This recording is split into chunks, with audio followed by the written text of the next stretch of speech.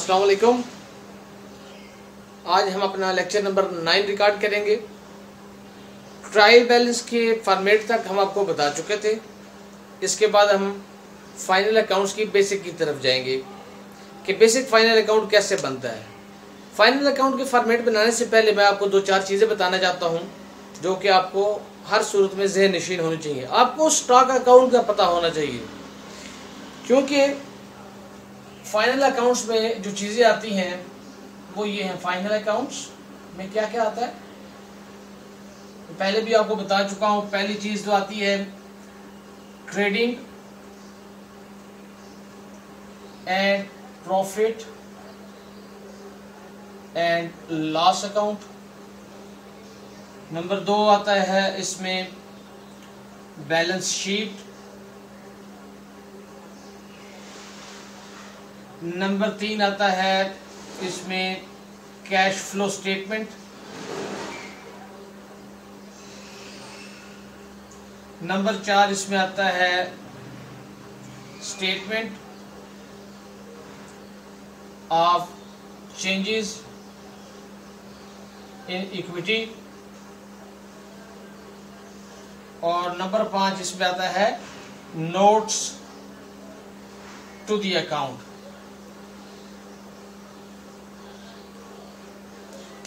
इन सारी चीज़ों के लिए ट्रायल बैलेंस एक बुनियादी पिलर था जो कि हमने डिस्कस किया अपने पिछले लेक्चर में।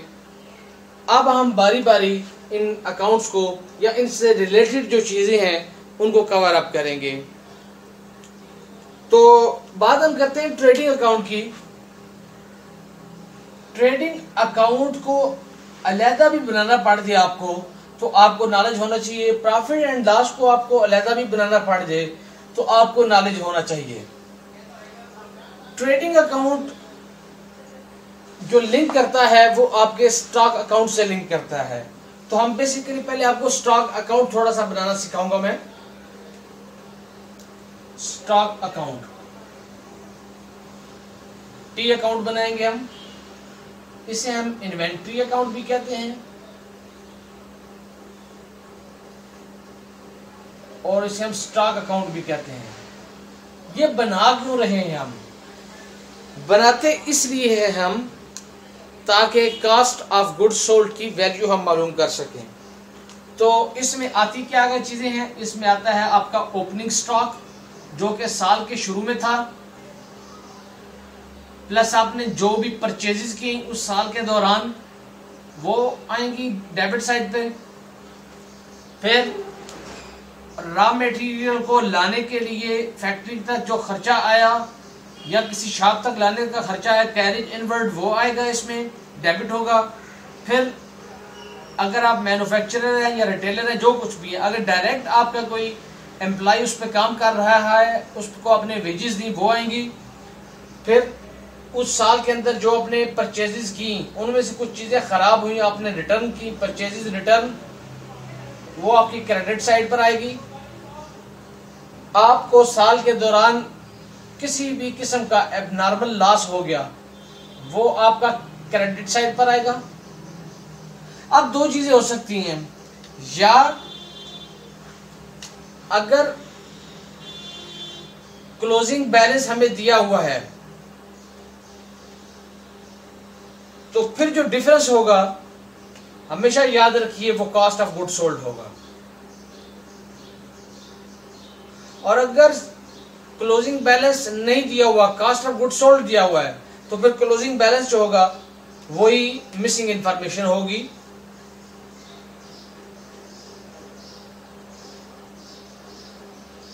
आप अगर आप इनकी एंट्रीज पास करना चाहें तो याद रखिए परचेजेस जब भी कोई बिज़नेस खरीदता है तो एंट्री पास करता है परचेजेज अकाउंट डेबिट करता है। टू या कैश में लेता है तो या उधार पर लेता है क्रेडिटर्स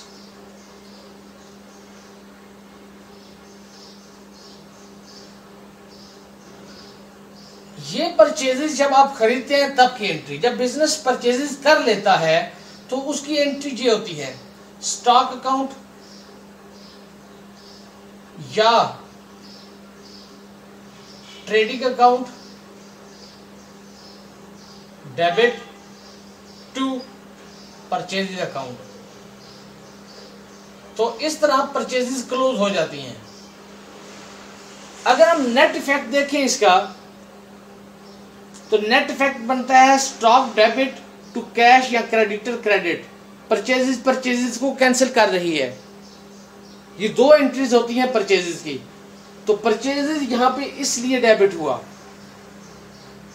परचेजेस टू कैश हमने परचेजेस का हमने परचेजेस का लेजर बनाया हुआ होगा।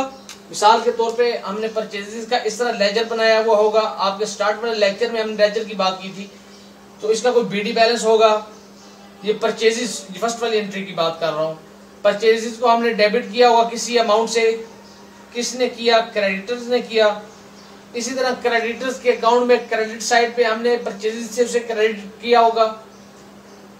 जब हमने स्टॉक में लेकर जानी होती हैं परचेजेस तो परचेजेस क्रेडिट हो रही हैं कौन कर रहा है स्टॉक परचेजेस क्रेडिट क्रेडिट कर रहा है। इफ़ेक्ट कैंसिल हो जाता है इसका।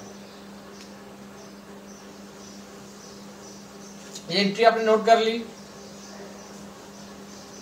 सेम इसी तरह कैरिज इनवर्ट जब आप कैरिज पे करते हो carriage to cash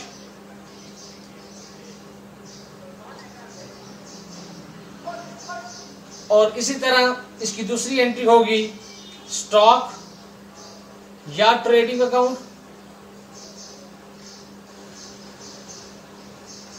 to carriage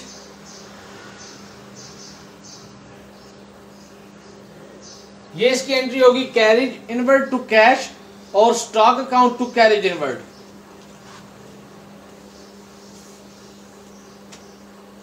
इसी तरह वेजेस की एंट्री वेजेस, जब आपने पे की, वेजेस अकाउंट को डेबिट किया टू कैश को क्रेडिट किया, और फिर स्टॉक अकाउंट को हमने डेबिट किया टू वेजेस, इसलिए स्टॉक के डेबिट साइड पर वेजेस हम लेकर आए हैं।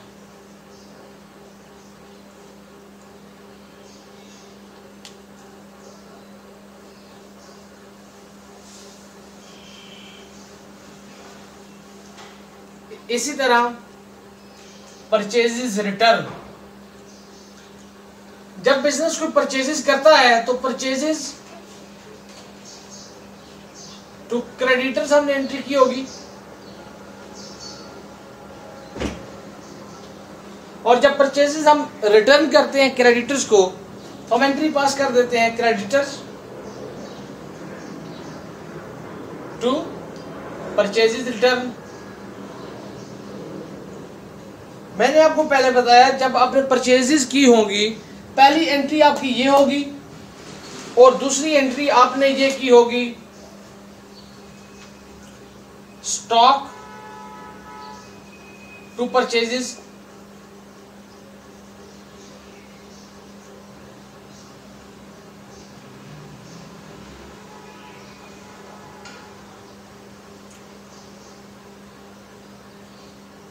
stock to purchases और पहली एंट्री आपने ये की होगी परचेजेस टू क्रेडिटर्स और जब आप परचेजेस रिटर्न करेंगे, आप एंट्री पास करेंगे creditors to purchases return purchases चूँकि स्टॉक में डेबिट हो रही हैं तो स्टॉक के अकाउंट को क्रेडिट करेंगे हम परचेजेस रिटर्न से। यानी इसकी एंट्री ये पास होगी purchases return to stock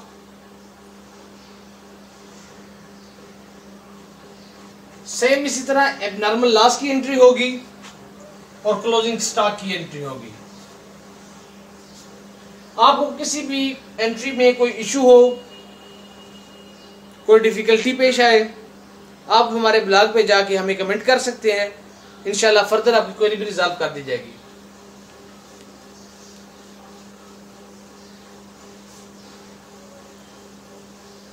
जैसा कि हमने बात की फाइनल अकाउंट की तो फाइनल अकाउंट का बेसिक जो तरीका है, आपने फॉर्मेट इसी को फॉलो करना है जो मैं करा रहा हूँ। सबसे ऊपर उस कंपनी का नाम आएगा for example A B C and को trading profit and loss account for the year ended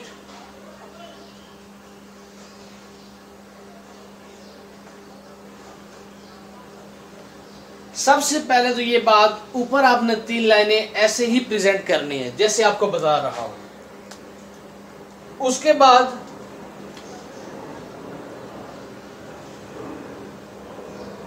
T account की तरह हम इस तरह बनाएँगे, इधर एक रुपीज़ का कॉलम आएगा, एक इधर कालम आएगा पर्टिकुलर्स का कालम आएगा rupees rupees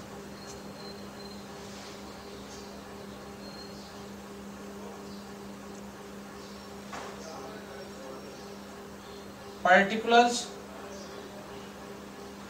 rupees rupees particulars rupees rupees याद रखिएगा, पहले आपने ट्रेडिंग अकाउंट बनाएँगे, उसके बाद आप प्रॉफिट एंड लॉस अकाउंट की तरफ़ जाएँगे। तो सबसे पहले आएगा सेल्स जगह कम होने की बायस मैं इसको छोटा करके लिखूँगा। सेल्स आउटर कॉलम में आएगा। Less sales return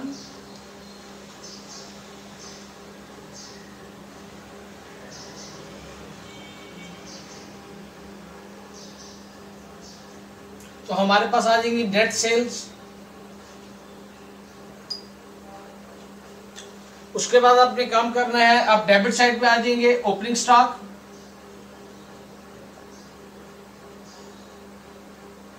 purchases opening stock को आप आउटर कॉलम में लिख लें। परचेजेस लेस परचेजेस रिटर्न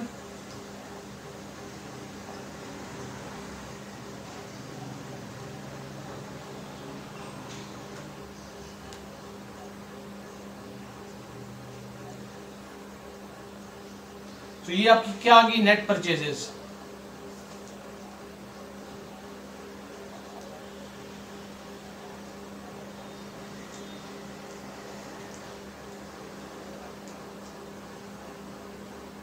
यहाँ तक आप नोट कर लें। उसके बाद आपका जो क्लोजिंग स्टॉक है सॉरी इसके बाद आप अपनी वेजेस लिखेंगे इसके नीचे।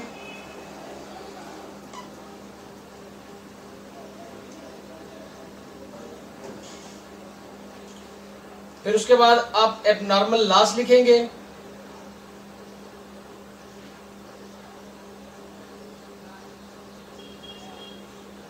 क्लोजिंग स्टॉक आ जाएगा आपका?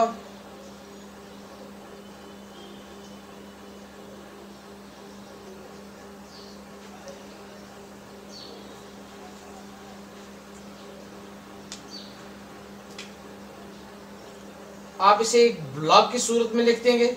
ऐसे कर देंगे।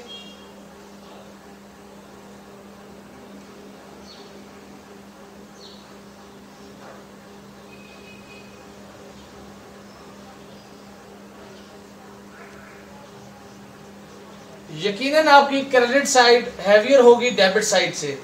तो इन दोनों का जो डिफरेंस आएगा, वो आपका ग्रास प्रॉफिट कहलाएगा।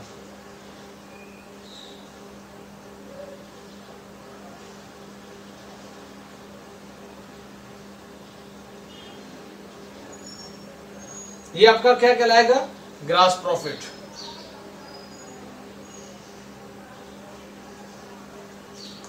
ये आपका ट्रेडिंग अकाउंट बन गया।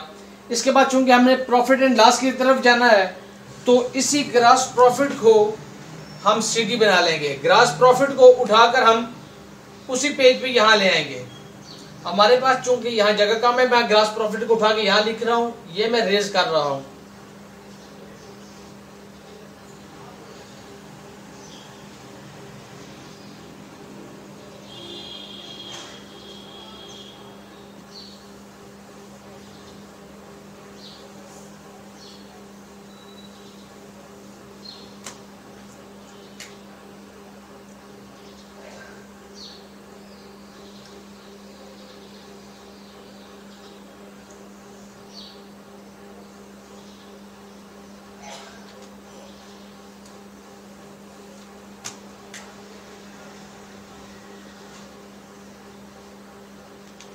ग्रास प्रॉफिट हमारा यहाँ पे आ गया।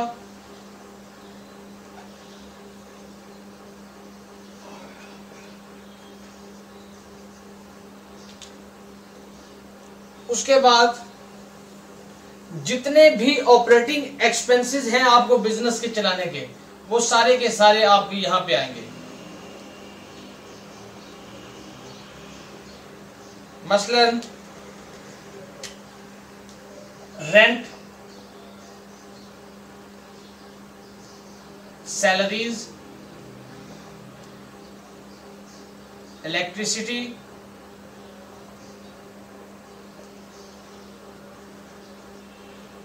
telephone,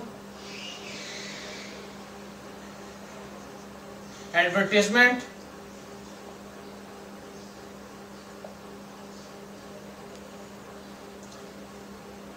bad debts,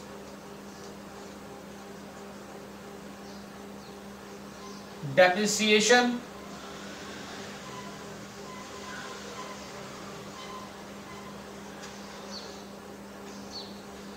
जितनी भी आपकी इनकम है, वो इस तरफ़ आएँगी।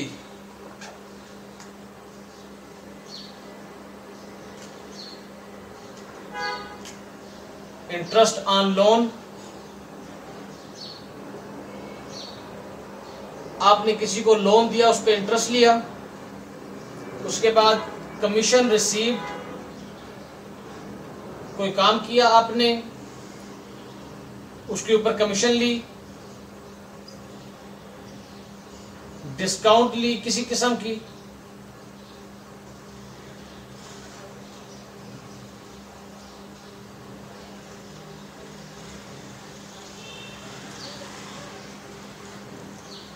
जब आप क्रेडिट साइड में से इस डेबिट साइड को लेस करेंगे तो यकीनन क्रेडिट साइड आपकी हैवियर होगी और डेबिट साइड आपकी लोअर होगी। जब इस तरह का सिनारियो होगा तो ये जो डिफरेंस आएगा इसे आप कहेंगे नेट प्रॉफिट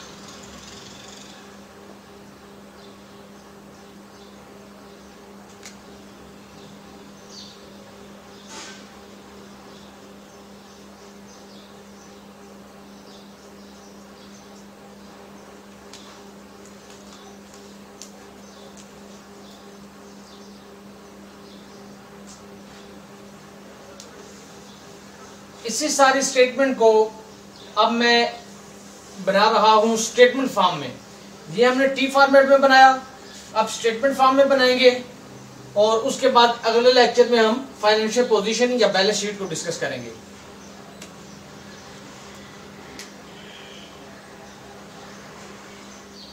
इसी सारे अमल को अब मैं स्टेटमेंट फॉर्म में बना रहा हूँ।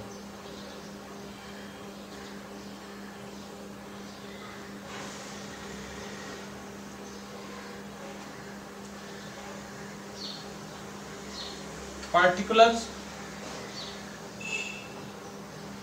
रुपीस ताकि आपको दोनों मेथड आए। तो सबसे पहले सेल्स मैंने आपको बताया, मैं छोटा कर लिखूँगा ताकि मेरे पास इस जगह में पूरा आ जाए। Less sales return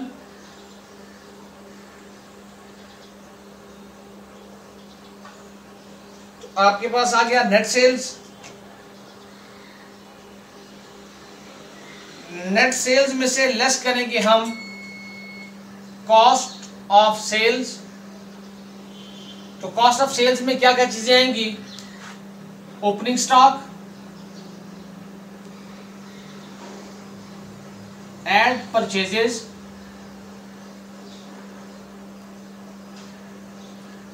add carriage inward.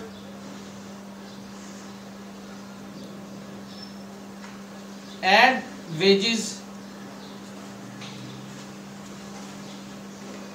Less abnormal loss.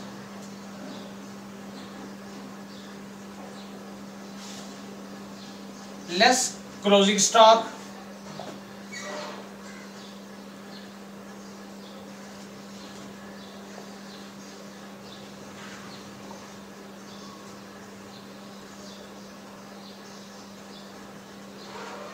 तो ये जो हमारे पास चीज़ आई है, इसे हम कहेंगे ग्रॉस प्रॉफिट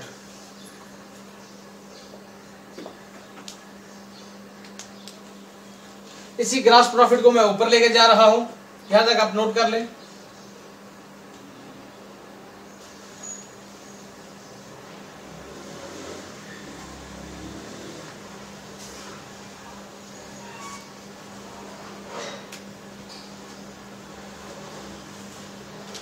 हमारे पास जो ग्रास प्रॉफिट आया, नीचे वो हम, नीचे से आपने शुरू करना है, आपने ऊपर नहीं लिखना। ग्रास प्रॉफिट इसमें से हम ऑपरेटिंग एक्सपेंसेस कम करेंगे अपने। ऑपरेटिंग एक्सपेंसेस जो कि rent salaries bad debts depreciation इसी तरह के और बहुत सारे। जब आप ये लेस करेंगे तो आपके पास जो इधर अमाउंट आएगी, उसे हम कहते हैं ऑपरेटिंग प्रॉफिट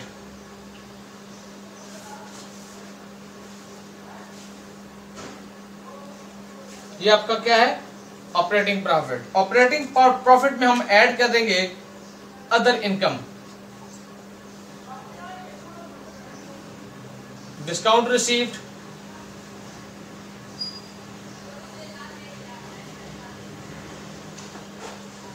commission received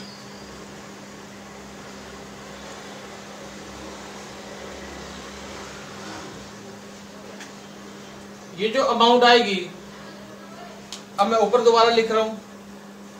इसके नीचे जो लिख रहा है, वो मैं इधर लिख रहा हूँ।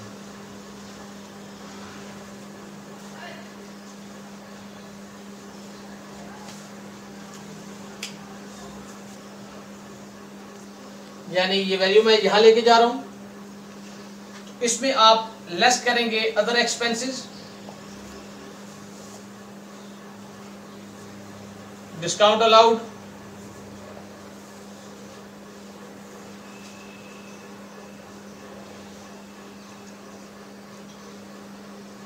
revaluation loss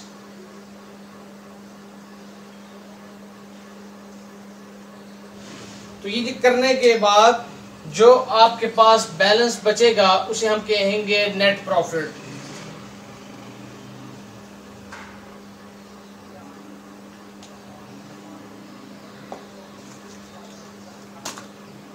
ये था हमारा आज का लेक्चर जिसमें हमने प्रॉफिट एंड लॉस के बारे में पढ़ा ट्रेडिंग अकाउंट के बारे में पढ़ा. इनशाला अगले लेक्चर में हम बैलेंस शीट के बारे में डिस्कस करेंगे. अल्लाह हाफिज़.